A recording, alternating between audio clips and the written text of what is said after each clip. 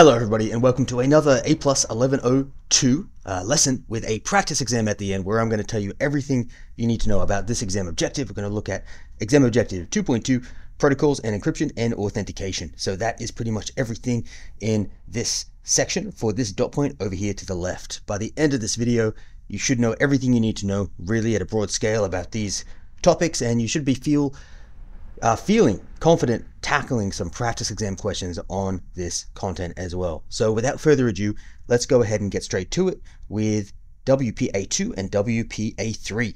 So when it comes to wireless internet connections, there are two things we're going to cover today. There's protocols and there's encryption. We're going to start off with protocols and there's two that you need to know about for your exam. You need to know about Wi-Fi protected access 2 and you also need to know about Wi-Fi protected access 3. So we'll start off with 2. Wi-Fi Protected Access 2 is the current industry standard for wireless security. It offers significant improvements over its predecessor, WEP. You don't need to know anything really about WEP, you just need to know that that is the older one and WPA2 was the newer one that came in to replace it and is much more secure. It's more secure. Uh, WPA2 does support two different encryption options. Now, you do need to know about these different forms of encryption. Uh, the first one is TKIP or Temporal Key Integrity Protocol. This one is an older encryption method and it's used in earlier versions of WPA2. It does offer some protection, but it has some known vulnerabilities. So that's why if you have the option, you want to be using Advanced Encryption Standard if you can, which is AES. This is a stronger and more recommended encryption option for WPA2 and WPA3, which we'll talk about in a second. Uh, it provides robust protection for your wireless traffic. So that's the one that you're going to want to choose. It's worth noting that there are other encryption protocols, but for the sake of this particular exam, you don't actually need to know about those really in any level of detail. Just understand for future exams they do exist, but for now, you only need to know about these two. All right, so that's just a little note I wanted to throw in there. Moving on to WPA3. As we can probably imagine, 3 is a higher number than 2, therefore WPA3 is more secure than WPA2. So this is the, the latest wireless security protocol designed to address vulnerabilities found in WPA2. It offers several enhancements. So some of those enhancements are simplified device onboarding. So it's streamlined setup process for a wider range of devices. It has stronger encryption, which is obviously important. It utilizes the latest security suites. So this is what I was talking about in the last slide. It, it enables an encryption protocol called SAE or Simultaneous Authentication of Equals. This is stronger than the one we talked about uh, before, which is AES. Simultaneous Authentication of Equals is a better encryption protocol than AES. That being said, you don't need to know about SAE specifically for your exam. What you might need to know is that Wi-Fi Protected Access 3 does support higher level encryption protocols and therefore does enable a better level of security. So you don't need to specifically know about SAE, you just need to understand the concept that WPA3 is more secure, and one of the reasons for that is because it supports better encryption protocols. So, so long as you understand that, you should be okay. It also offers enhanced protection against brute force attacks. So it makes it more difficult for attackers to guess your Wi-Fi password by running scripts, um, either dictionary attacks or brute force attacks. We don't need to get into specifically what that is until your security plus really, but just for the sake of this, understand that it is more secure due to the support it has for higher levels of encryption protocols and uh, the defense against brute force attacks as well. So just know Wi-Fi protected access 3 is more secure than Wi-Fi protected access 2, which is somewhat intuitive as 3 is a higher number than 2. All right, so if that's making sense so far, then we're on the right track. Now, we've got those different encryption protocols that we talked about. So just, just again, I'll go over them in the same order that they're in the exam objectives. So we have encryption. What is encryption? Basically what it does is it scrambles your data. In this particular context, we're, context, we're talking about wireless data. So it makes it unreadable to anyone intercepting it. So if anyone tries to read what you are sending over the network, you will see your data. You like if you type a sentence that says "I love brown dogs," you'll see "I love brown dogs." But if it's encrypted, the person intercepting will see it as a jumbled combination of random numbers and syllables, for example, right? So uh, numbers and symbols, for example. So they can't read what you're sending. Some methods of scrambling that are stronger than others. TKIP is considered less secure due to some potential vulnerabilities. AES is currently the strongest encryption standard for Wi Fi networks in relation to your exam, right? Again, you don't need to know about simultaneous authentication of equals. Out of these two that you need to know about for your exam, AES is the strongest. So I'm trying to keep it really exam focused here. Yes, there are other stronger encryption protocols, but for your exam, if you were taking a question that says, what is the strongest encryption protocol? You'll likely be having to choose potentially between some other random options that aren't actually encryption protocols or are like trick answers and these two. And out of these two, the strongest one is AES. It's supported by WPA2 and WPA3. So you might get a question asking you something to the effect of, what is the best combination? WPA2 with AE3 sorry, AES or WPA3 with AES or WPA2 with TKIP, etc. Right? And just know you'd want to go for WPA3 for security, and you'd want to go with AES for security because it's the most secure wireless protected access version and it's the most secure encryption protocol. So if that's making sense, again, we're on the right track. Hopefully, hopefully we're doing all right so far. We also have authentication. So there's different methods of authenticating yourself to a network, of telling this network, hey, I am who I say I am. And we're going to go through some of the key differences between the different methods of authentication that you will need to know for your exam and how you can tell them apart. And also in what circumstance you might want to use one over the other. So first of all, authentication, a brief rundown. We talked about Wi-Fi protected access. These define the encryption methods for securing your wireless data. Authentication methods determine how users and devices prove their identity. So that's what I was saying before. Authentication is how we prove that we are who we say we are uh, in order to access the network. So let's have a look at some common ones, or specifically the ones you'll need to know for your exam. The first one is Radius or Remote Authentication Dial In User Service. So, this is a widely used centralized authentication protocol for wired and wireless networks. It's widely used and it uses a central server. So, that's already uh, two key things we need to take note of. Radius server authenticates users against a central database. So, the Radius server has a database. You might log in, it will run your login details against the database that it has to see if there are any matches. It's called the uh, an example of that is the Active Directory. After receiving the login credentials from a network access point, so it sent your login credentials, it runs your credentials against the database to see if there's any matches for what you've typed in. It offers good scalability and simplifies user management for large networks. So if we've got a large network and we're planning on scaling in the future, Radius might be a good way to go in terms of authentication. It might require additional infrastructure setup, so you will need to set up a Radius server. That's something to consider, right? You are going to need to actually configure that. Here's a key one. You're going to need to know this. It uses symmetric key encryption for authentication. What this means is there's a shared secret key that is pre-configured on both the Radius client and the Radius server. So the network device trying to log in to the to the server has a key and the Radius server has a key and it's the same key. It's symmetrical. It's identical. During authentication, the client and server use this shared key to encrypt and decrypt messages. So, so long as you understand that the Radius server uses symmetric key encryption, you'll largely be able to distinguish between the two. Okay. Another method of authentication is TACACS Plus or Terminal Access Controller Access Control System Plus. I know it's a mouthful. Um, this is, again, it's a centralized authentication protocol that's similar to Radius, often used in network security critical environments. It provides more granular control over network access and user permissions compared to Radius. So right? We're already starting to see some distinctions. TACACS Plus, we have more granular control over our network access, over our user permissions. We can change things in more detail. We can see things in more detail. It's more granular. It offers additional features like authorization, auditing, and accounting. So there are some additional features that come with TACACS Plus that we can see there. And it's typically more complex to configure and manage than Radius. So if you have a large infrastructure that you want to be able to scale easily and set up simply, Radius might be for you. If you want those additional options for that granular user control and you're okay with it being a little bit more complex to set up, TACACS Plus might be for you. So already we're trying we're starting to see some of the things that we might want to toss up.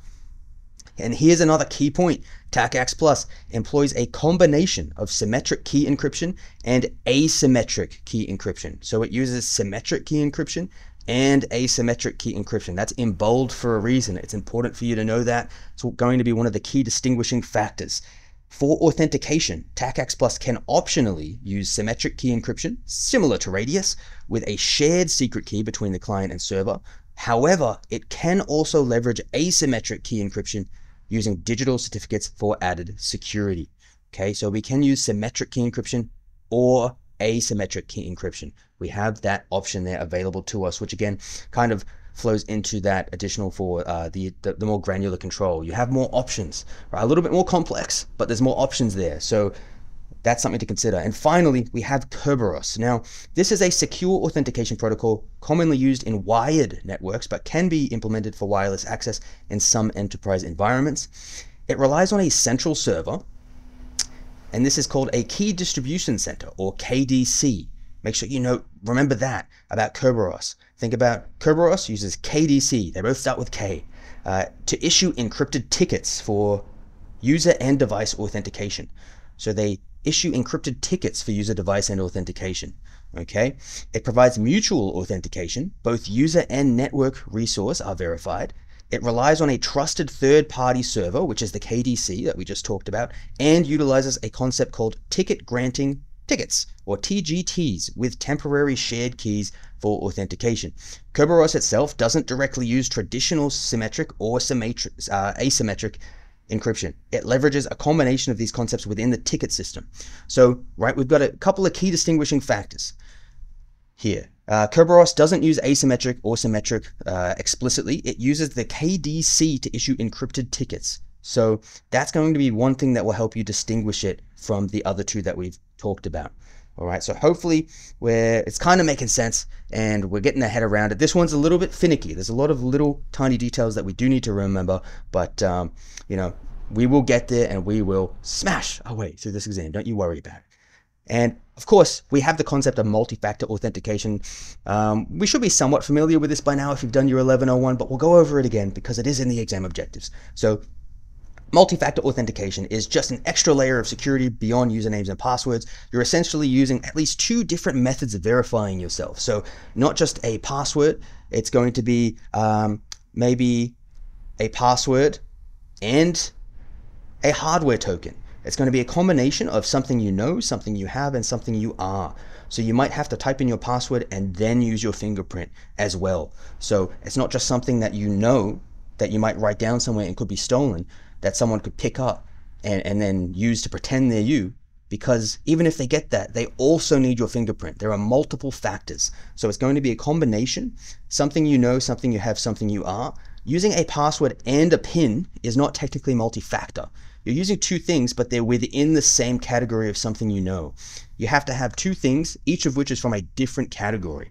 All right, so that's the key thing for multi-factor authentication something you know plus something you have, or something you know plus something you are, etc. All right, two of those factors to authenticate. It increases the difficulty for unauthorized access attempts and can be implemented on top of other authentication methods like Radius or Kerberos. All right, so you can use Radius, Kerberos to authenticate and also have multi-factor authentication at the same time on top of that, which is pretty cool. Now, how do you know which one of these to choose? for your infrastructure. We went through a couple of things, but let's just go through some broad uh, ideas as to how we can try to choose the right one. The first one, your network size and security needs. Radius is good bal- is a good balance for many networks. TACACS Plus provides more granular control for high security environments. That's what we were talking about before, right? Radius highly scalable.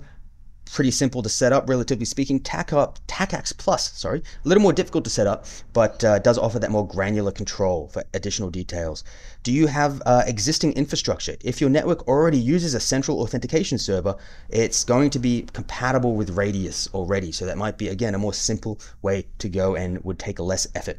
There's less opportunity cost there, I suppose. Ease of management. Again, Radius is generally easier to set up and manage compared to TACACS Plus and uh, mobile device compatibility Kerberos might have compatibility limitations with some mobile devices. It's typically, again, as we said, for a wired network. All right. So again, just go back, make sure you understand the differences for all of those, and you're able to see when would you use each of them in which scenario. Now, it's time to get into our questions. The first question coming up uh, right about now, and that question reads. Rajesh has decided he is never going to allow his cat pictures to be released by hackers again, and has decided uh, dedicated his life to finding the most secure encryption method. Which of the following is he most likely to select, and what wireless security protocol is it associated with? A. TKIP with WPA3, B. SSH with WPA2, C. AES with WPA3, or D. TKIP with WPA2. Pause the video if you need more time, your answer coming Right about now, three, two, one, let's go. The answer is C, AES with WPA3. So essentially, we wanted the most secure versions of encryption and the most secure uh, WPA version. So we talked about the different encryption uh, methods slash protocols, and AES, for the sake of your exam, is the most advanced one that you need to know about. TKIP is in less secure, shall I say, AES is more secure. And again, of course, WPA3 is more secure than WPA2. So of course, Rajesh would want WPA3 with the most secure encryption protocol for the ones you need to know for your exam anyway, uh, AES. All right, feel free to pause and read through the rest of that there. But um, if you didn't get that right, maybe go back and have a look at the video. Okay, the next question reads, which of the following protocols only uses symmetric key encryption for authentication and is commonly used for network access control? A. Radius, B. TACACS Plus, C. Kerberos, or D. All of the above. Pause the video if you need more time. Your answer coming in three, two, one.